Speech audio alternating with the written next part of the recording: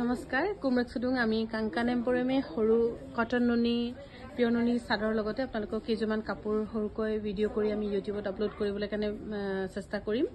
কিয় আমাৰ ইউটিউবত লাইভৰ লাইভ কৰাৰ পাছত আমি ডাইৰেক্ট ইউটিউবত আপলোড কৰোঁ কিন্তু ইউটিউবত আপলোড কৰিব পৰা হোৱা নাই কিবা এটা প্ৰব্লেম হৈছে।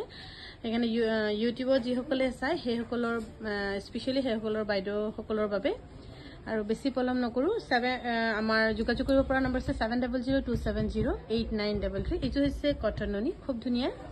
ইয়াৰ দাম হ'ব চৌবিছশ টকা লগতে সম্পূৰ্ণকৈ ধুনীয়াকৈ ৰেডি টু ৱেৰ কৰি দিয়া হ'ব। চৌবিছশ টকাত এইযোৰ কাপোৰ আপোনালোকে ধুনীয়াকৈ ৰেডি টু ৱেৰ ল'ব পাৰিব। মেখেলা ব্লাউজ পিচ সকলোখিনিয়ে ইয়াত আছে। চৌবিছশ টকা আৰু মোক আজিৰ শ্বৰ্ট ভিডিঅ'ত সহায় কৰিছে সুৰভিয়ে। হৈ যাব হেৰি সুৰভি।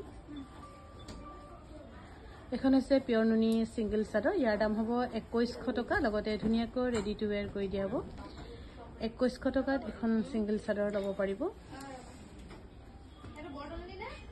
এইযোৰ হৈছে নুনি কটনৰ। ইয়াৰ দাম হ'ব ষোল্লশ পঞ্চাছ টকা। ষোল্লশ পঞ্চাছ টকাত এখন চাদৰ আপোনালোকে ল'ব পাৰিব।